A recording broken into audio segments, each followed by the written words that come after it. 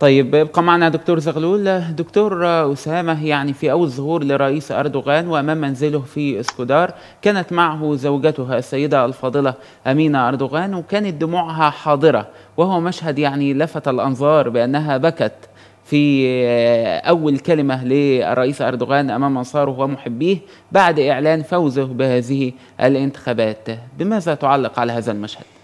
طبعا آه، نحن كنا أمام حملة انتخابية ماراثونية قوية وكنا أمام ضغوط شديدة مورست على الرئيس. آه، شفنا يعني تصريحات وإشاعات وتقولات وتخرصات يعني وتجاهل آه، للإنجازات يعني. وهذا الحقيقة يعني يعني زي بيقولوا جرح يعني ذوي القربى أشد مضضة على النفس من وقع الحسام المهندي.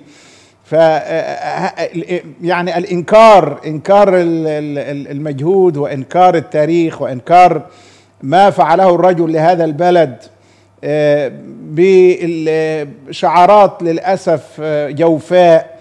كالمستبد آه، آه، الدكتاتور هذه الشعارات التي ملأت الإعلام سواء إعلام المعارضة أو الإعلام الغربي للأسف آه، يعني هم لم يروا ديكتاتورية الحقيقة. نحن نتمنى أن يكون لدينا ديكتاتور في بلادنا زي الرئيس أردوغان يكون بهذا القدر من التسامح والانفتاح ويكون حارس على وأمين على أن يرد الكلمة للشعب وأن تكون هناك انتخابات حرة يسمح فيها للجميع ب زي ما انت شفت التجمعات المليونية ووسائل الإعلام التي آه، لا تكف على مدار الساعة والطعون في إنجازاته ومع ذلك آه، الرجل بكل بساطة خاض الانتخابات كغيره يعني آه، ينتظر كلمة الشعب وعندما استمع إلى هذه الكلمة بالتأكيد آه، ستكون لحظة مؤثرة